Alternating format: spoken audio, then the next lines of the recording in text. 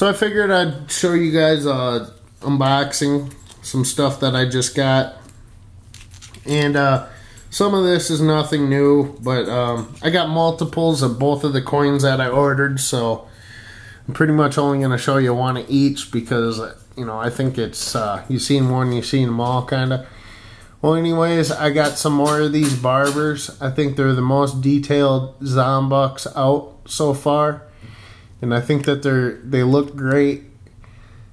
I really like what uh, they're doing with the different designs. So, pretty neat looking coin.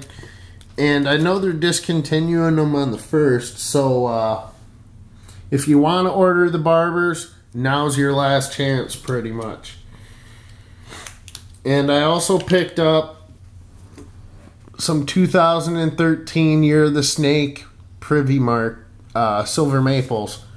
And I was looking at just some regular sil- silver maples, and they were running about 23 and a half a piece. So um, I was looking through the maples, and I seen these ones were 25. And uh, they have that um, sandblasted frosted finish and then it has the privy mark and these were limited to 25,000 I believe.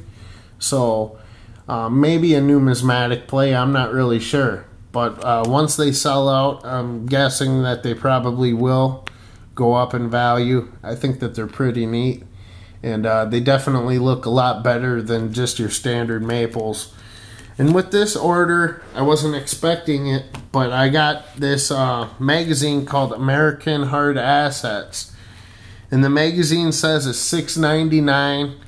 And I got this free with my order, which is pretty cool. I'm not sure if uh, they have a threshold uh, to where you will receive the magazine or not. But inside the front page, uh, Provident has a two page ad there, so kind of neat has a lot of good information on gold and silver and it even has some information on platinum and uh, different mining news and stuff like that so um, pretty cool. Uh, you know a nice freebie. I'll have to take a look at that later.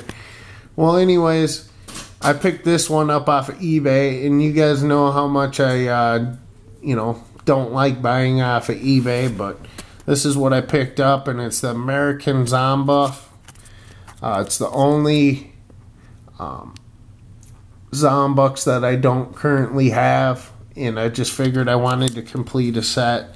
I think, uh, you know, I'm getting excited for the future designs of the Zombucks. I really can't wait to get my hands on the Mercuries. But anyways, that's my unboxing. Nothing really too special, but pretty cool. And uh, what do you guys think about the Privy Maples? Do you think that they're worth the dollar fifty more that I paid for them? Um, I don't know. I think they are. I think that they just have a really, really nice appearance to them. But anyways, thanks for watching. Have a great day.